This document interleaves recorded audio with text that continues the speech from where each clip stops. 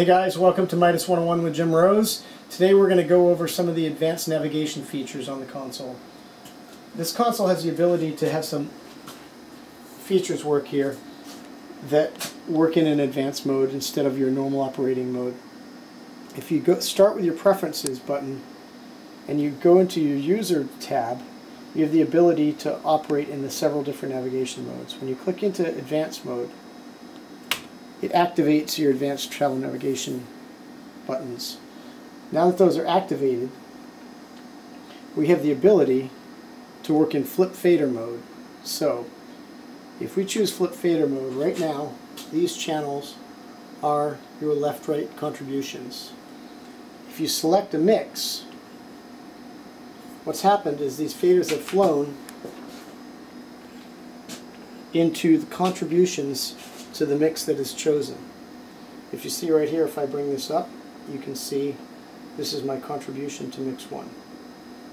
In a stereo, in a stereo paired mix, uh, if you choose your master section here as your highlighted section with your scroll, the panning inside of that mix will actually pan inside the mix now too, instead of a left-right panning. So all of those controls in flip mode now work for the aux you have selected. So you aux 3, matrix 1, unselect, you're back to left-right.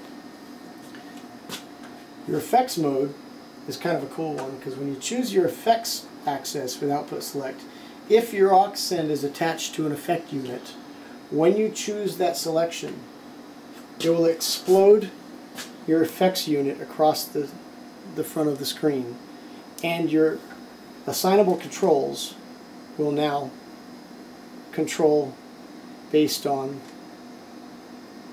the effect unit. You now have control of that effect unit through your assignable controls just by choosing that aux. Choose another aux, we have another reverb there. Choose another one, we've got another effect unit here. These are all, if we go into an aux where there is no effect unit chosen, it does not explode. The graphic, if there is a graph attached to a mix, if, a mix has a graph attached to it, when you so choose that mix, right now we don't have any attached to them, but if we so chose that mix and we had a graph on that mix, graphic EQ, if that's there, when we choose that mix, what it does is it changes your master section here to graphics with scrollable frequencies. Only on the mix where there is a graph assigned.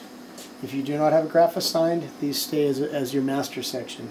But if this graphic button is chosen and you have a send that has a graph attached to it, when you select that mix with your GEQ active, this section in group of eight becomes a scrollable graphic EQ on faders.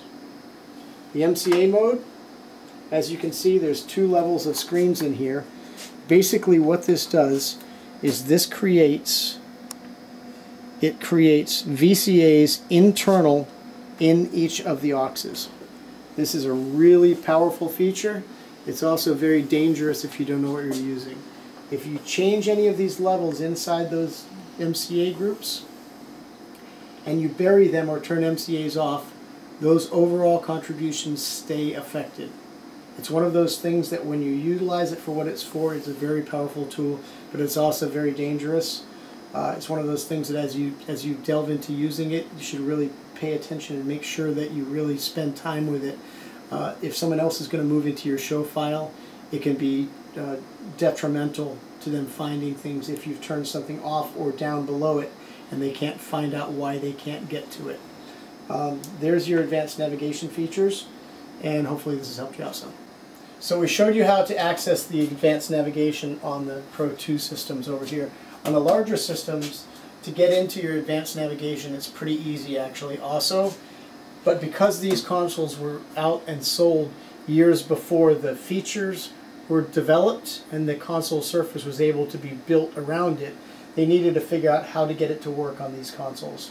So what they did as an easy access for it, if you are on a larger Pro Series and you're used to working on the Pro 2 systems, all you have to do is hold your star button down on this console and when you hold the star button down your population groups will turn into your advanced navigation buttons. And this way you can access these things to activate them via the star button.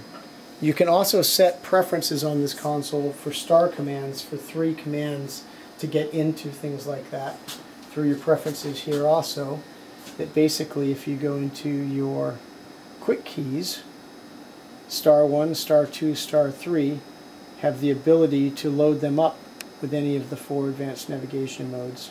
You can load them in to three of these buttons, star 1, star 2, star 3, to access them quickly, or you can hold the star button down again and have it turn these buttons into activations for it.